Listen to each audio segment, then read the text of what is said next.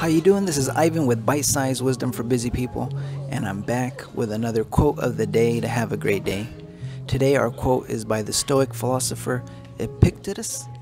The quote is The proper work of the mind is the exercise of choice, refusal, yearning, repulsion, preparation, purpose, and assent. What then can pollute and clog the mind's proper functioning? Nothing but its own corrupt decisions. So, on our self development journey, our goal is to become a balanced human being, balanced in our various centers or functions. We have our intellectual center, our emotional and feeling center, and our bodily and instinctive centers. Unfortunately, many of us are unbalanced, and what this means is that our various functions are not used efficiently and they don't work in a coordinated and integrated fashion and will oftentimes try to do the work of another center. As an example, this would be mental energy trying to do the work of emotional energy, like someone stuck in their head and then trying to understand someone who is communicating through their emotional center. As a result, no real relationship and understanding will be taking place.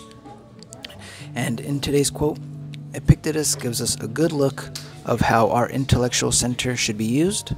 Let's take a minute to look at the various functions that he highlights. The first one was choice. This is our ability to choose what we think and then act in accordance with our vision. Refusal, our ability to use our mind to refuse what isn't good for our well being Next one is yearning. We can use our minds to create a life aim to give our life meaning, and meaning is what many of us are yearning after. Repulsion, our ability to push away negative influences and not accept what isn't true.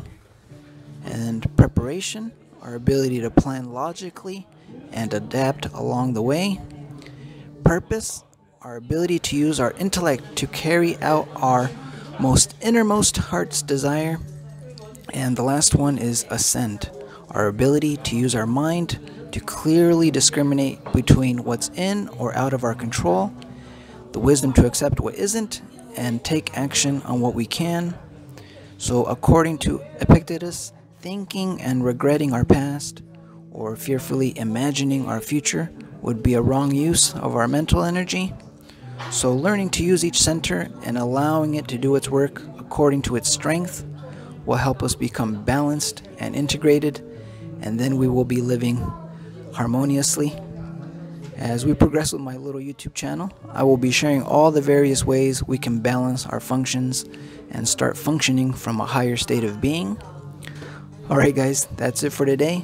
I hope you enjoyed today's idea. If you did, please help me out and hit the subscribe button and notification bell. And don't keep me a secret. Share with someone who might find it valuable.